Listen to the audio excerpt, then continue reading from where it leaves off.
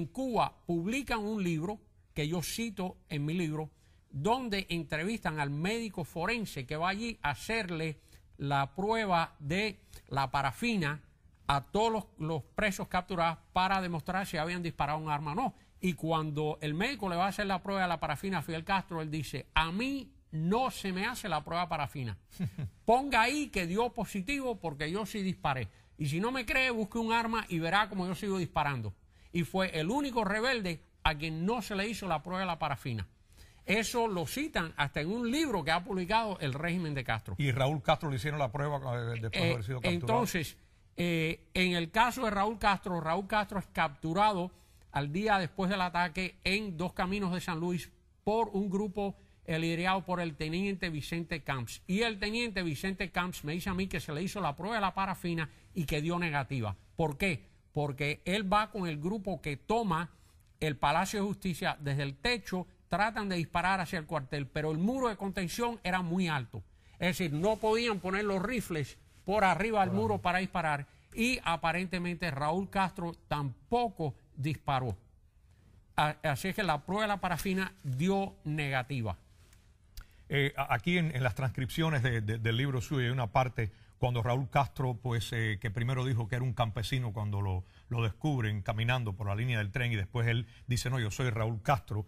Eh, dice, yo soy Raúl Castro. Yo no sabía quién era Raúl Castro, comenta el, el militar que lo, de aquella época, ni de Fidel Castro. El apellido me sonó y le pregunté si era familia de Fidel Castro me dijo, sí, yo soy su hermano. Entonces tú eres uno de los que atacó el cuartel Moncada, me confesó su participación y que a él lo habían mandado al Palacio de Justicia con unos más.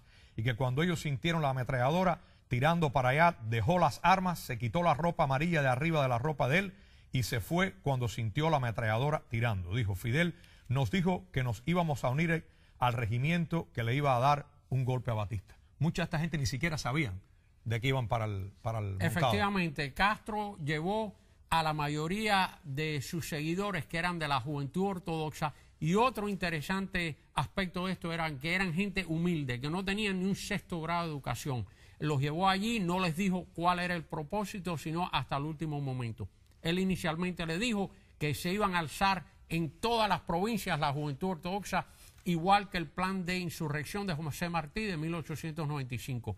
Sin embargo, a último momento dijo, no, esto es para atacar el cuartel Moncada. Y allí, de ese grupo, hubo una docena que se negaron a participar.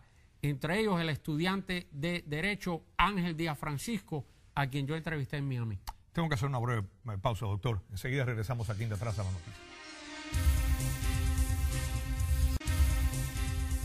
Doctor de la Cova, una última observación de, esta investigación que ha hecho sobre el Moncada.